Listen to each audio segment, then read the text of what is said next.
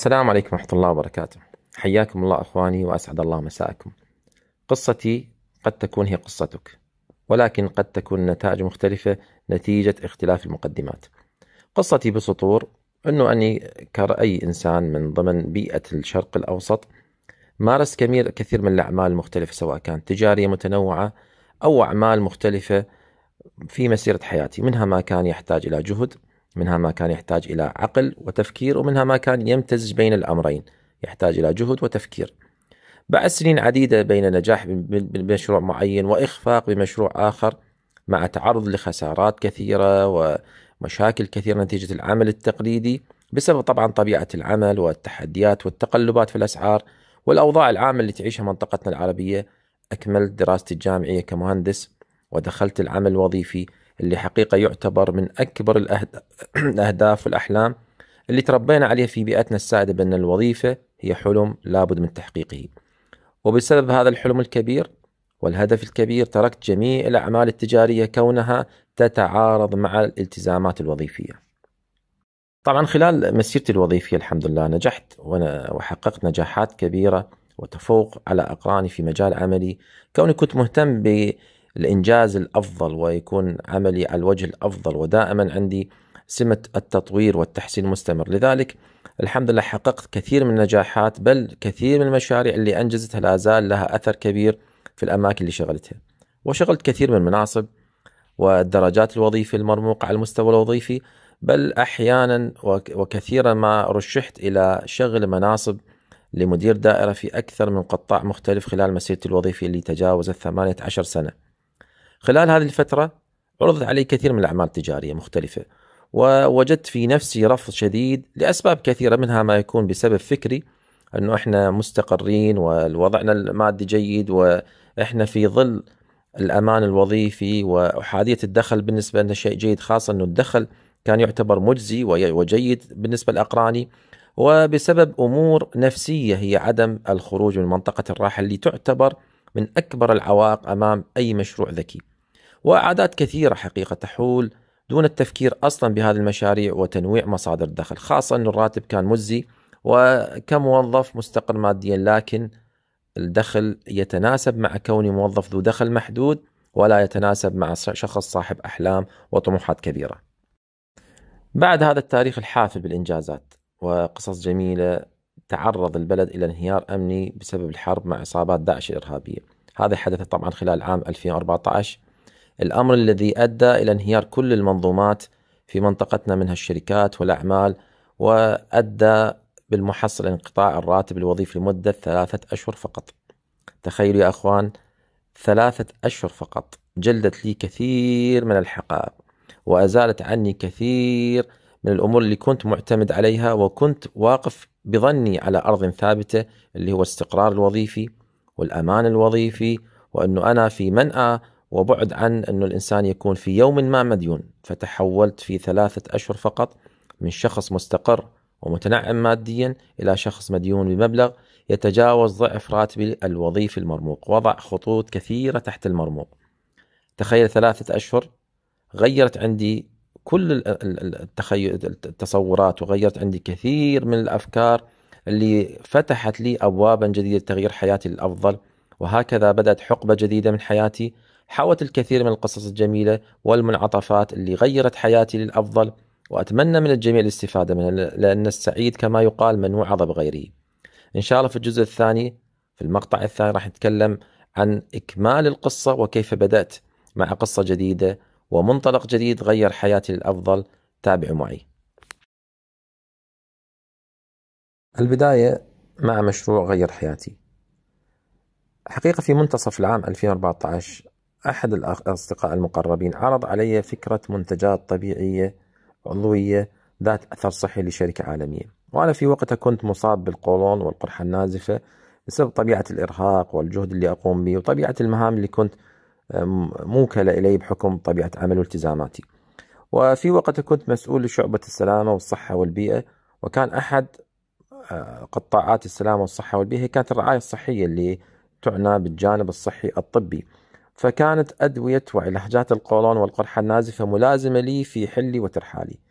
فلما عرض الأخ المقرب اللي كان من أحد الثقات وأحد الأصدقاء المقربين أعجبت كثيرا بكون المنتج طبيعي وذو أثر صحي كوني أنا مهتم جدا بالمنتجات الطبيعية والأعشاب لكن حقيقة ما حققت الأثر الصحي لقلة جودة الأعشاب الموجودة وضعف نتائجها. بنفس اللحظة حقيقة لما تكلم لي الأخ عن المنتج وأثره طلبت من عنده بعض الروابط حتى أقرأ عن المنتجات وطلبت من عنده أن يوفر لي المنتجات المطلوبة للحالة فتعذر الحصول على المنتجات. في وقتها كان ما توجد المنتجات بصورة مستمرة في ذاك الوقت وخلال هذه الفترة وقعت الحرب في بلدنا الحبيب. وخرجنا من محافظتنا العزيزة وشغلنا بكثير من الأمور. أهمها كانت متابعة الأخبار بصورة مفرطة. يعني أحيانا أتقلب بين قنوات الإخبار لأكثر من عشر ساعات باليوم بصورة مستمرة لمتابعة الأخبار ومتابعة الوضع الراهن فزاد الأمر تفاقما للحالة الصحية. خلال هذه الفترة تواصل معي الأخ الحبيب وذكرني بالموضوع السابق اللي طرح علي حول الشركة فوجدت أمر مناسب بلغته حول لي الروابط وخلينا نعمل عملية ريفرش بالقراءة عن الشركة والمنتجات ومزاياها الأخرى. دخلت الروابط للشركة وبدأت معي رحلة البحث العميق عن هذه الشركة. حقيقة وجدتها مشروع متكامل وهو ما كنت أحلم به خاصة بعد انهيار قناعات. سابقا كنت أحمل أحمل هذه القناعات وسابقا كنت أظنها هي قناعات جيدة وحقيقية وحق وصحيحة. هي قناعة الأمان الوظيفي ومسألة أحادية الدخل وعدم أهمية تعدد مصادر الدخل وغيرها من القناعات اللي أدت إلى ما وصلنا إليه. بدأت بدراسة المشروع من كل النواحي. حقيقة أنا رجل متخصص في كثير من المجالات في المجال الصحي وشغلت كثير من الأعمال في المجال التجاري وعندي شهادات في الجودة وعندي ما يؤهلني للبحث في أي مسألة وأخرج بنتيجة حقيقية نتيجة جيدة علمية. بحثت الشركة من الناحية الصحية ومنتجاتها وأثرها فوجدتها من أعظم المنتجات الموجودة والمتوفرة في المصادر البحثية الكثيرة. بحثها من الناحية التجارية وأثرها وجدوى جدوى العمل من ناحية اقتصادية بحثتها من ناحية الشهادات والموثوقية كون أن الشركة حائزة على الكثير من الشهادات وهذا أمر يهمني كوني جهة علمية مختصة في جانب الشهادات والجودة العالمية. بحثتها من الجانب الشرعي كون أنه الإنسان خاصة إحنا يعني نتحرى الجانب الحلال والحرام لأن كثير من الأمور ممكن الإنسان يحقق مداخل محرمة بأمور أقل وأسهل لكن بما أنك تدخل في جانب تظنه مشروع حياة فلا بد أن يكون مصدر رزق حلال. فدرست من جميع هذه النواحي والحمد لله حققت جميع الأعمدة اللي تعتبر أعمدة للثقة في أي مشروع حتى تقف على أرض ثابتة. يجب أن تكون هذه الأمور متوفرة في هذا المشروع فوجدتها كلها متوفرة بل هي راسخة. بعد هذه الدراسة حقيقة تكونت عندي قناعة وأصبحت عندي وضوح رؤية وفعلا وجدت أن هذا المشروع هو اللي سيحقق أحلامي وأهدافي ويعوض ما فاتني من خير كثير. يعوض ما فاتني من خير كثير لي ولنفسي ولأهلي ولمن أحب وجميع معارفي فهو خير متعدي ودائما نقول هو نفع متعدد وخير الناس أنفعهم. من هنا كانت الخطوات الأولى ومحطتي الأولى في رحلتي مع مشروع غير حياتي. إن شاء الله في الجزء الثالث راح أدخلكم ببعض التفاصيل حتى نستفيد من هذه الانتقالات. وكما يقال ابدأ من حيث انتهى الذي قبلك ستكون ناجح إن شاء الله. قد تكون هي قصتك. إذا بدأت بنفس المقدمات فإن شاء الله تعالى ستحصل على نفس النتاج أول محطة لي في هذا المشروع الريادي الذكي أنه كونت عندي قناعة كبيرة بأن هذا المشروع هو مشروع الحياة ومشروع اللي راح أغير من خلاله حياتي وأصبحت عندي وضوح رؤية كبير ويقين بالنجاح بعد توفيق الله سبحانه وتعالى من خلال دراسة مستفيضة عن المشروع من عدة نواحي مثل ما ذكرت من الناحية القانونية ومن الناحية الصحية ومن الناحية الشرعية ومن الجانب المالي من حيث جدول العمل مع هذه الشركة. فوجدت نفسي أمام مشروع كبير جدا كان ينقصني مثل هذا المشروع لأحقق كثير من الأهداف وتعويض ما فاتني من الفرص في بداية شبابي قبل وبعد الحصول على الوظيفة.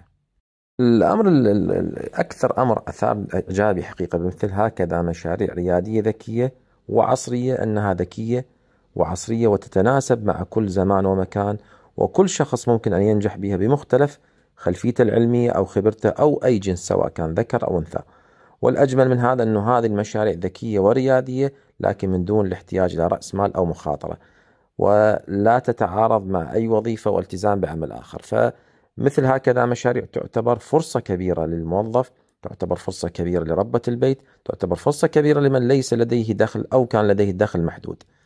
الجميل بالموضوع أنت العنصر الوحيد اللي يغير نتائج المعادل في النجاح. لأن هذه المشاريع جميلة وكبيرة لكن أنت العنصر الوحيد المؤثر فبالتالي أنت من يحدد دخلك وأنت ستكون مدير نفسك وتدير عملك من أي مكان وفي أي زمان. طبعا بدأت الخطى الأولى يعني كما يقال الواثق يمشي ملكا. لما كونت هذه القناعة بدأت بخطوات ثابتة وراسخة. بدأت بإتقان أساسيات النجاح يحتاج كل مشروع وبدأت بتطوير المهارات الشخصية حتى أزيد من فاعلية وأثر المنتج. وكنت حقيقة كثير البحث والمطالعة في كلام أصحاب الخبرات في مجال المال والأعمال والمشاريع الذكية. واجهتني كثير من التحديات وخاصة في بداية الطريق وبداية الرحلة لأنها وهذا طبعا الأمر لكن عكسته بصورة إيجابية بعد تيقني من صحة المشروع وجدوى العمل فيه على أنه هذا المشروع هو مشروع حقيقي. وهذه التحديات أكدت لي أنه أنا على الطريق الصحيح لأن غالب الناس ما يكون لهم تحديات حقيقية فاعلم أنك على الطريق الصحيح. أنا كنت مهتم جدا أن يكون من حولي مستفيد من هذا المشروع وهذا أحد أسباب النجاح في النجاح في هذا المشروع أنه هذا المشروع ممكن أن تنفع كم هائل من الناس وتنفع من تريد. بعد ما يقرب من ثلاث سنين الحمد لله تمكنت من التفرغ لمشروعي بصورة كاملة واتخذت قرار جريء نادر في هذا الزمان أن يقدم أو يقدم علي أحد أن أقدم إجازة شبه بدون راتب تقريبا هي إجازة لفترة طويلة بدون راتب. طبعا هذه الإجازة من الوظيفة تعتبر في غالب وقتنا ولما تطرح على كثير من الناس تعتبر مخاطرة خاصة أنك في مشروع جديد ومشروع ذكي ومشروع قد يكون يعني يجهل الكثير من الناس لكن واثق الخطى يمشي ملكا كما يقال. فذاك بدأت مرحلة جديدة وانتقلت من العمل بصورة جزئية وعمل بصورة مؤقتة وعمل بصورة جانب وقتي إلى العمل بصورة كاملة. تبدأ معها أول خطوات العمل بعمق وخطط طويلة المدى. كوني ذو خلفية علمية وخلفية تجارية دائما يعني أسعى كنت غالبا في عملي التجاري أو عمل وظيفي أن أستمر بتطوير مهاراتي. الآن مشروعنا ذكي مشروع ريادي مشروع يعتمد بصورة كبيرة على الشخص الذي يقوم بالمشروع فأول ما عمدت إلى تطوير نفسي وتطوير فريقي بكثير من المهارات المتنوعة سواء في مهارات إعداد المدربين أو دورات تخصصية في التقنيات الحديثة أو التسويق الحديث أو وسائل التواصل الاجتماعي مع دورات تخصصية كثيرة متنوعة ولا زلت لحد الآن في تطوير الذات لأن حقيقة العالم في تطور سريع. وكلما كنت أنت متطور ومتناغم مع هذه التطورات ستكون ذو أثر كبير جدا. الحمد لله الآن أعيش أفضل أيام حياتي. حققت كثير من الأحلام حققت كثير من الأهداف وجعلت لي رسالة أراها سامية أنه مساعدة أكبر عدد ممكن من الناس للاستفادة من هكذا مشاعر ريادية نافعة للجميع وذات أثر متعدي ونفع متعدد. والآن من فضل الله تعالى علينا ثم بسبب جهود المتضافرة وتطوير المستمر لهكذا مشاريع الآن المئات بل الآلاف من البيوت أصبح لها مصدر دخل رئيسي من خلال هذا المشروع. أو مصدر دخل ثانوي وخير الناس أنفعهم. حقيقة هذه قصتي على عجالة بدقائق بسيطة أحببت أن أنفعك بها وتنتفع بها لأن النتائج ستكون أفضل إذا اتخذت نفس المقدمات. فقد تكون نتائجك أفضل من نتائجي لأن السعيد من وعظ بغيره والذكي يبدأ من حيث انتهى الذي قبله. نراكم بخير إن شاء الله تعالى ودمتم بود.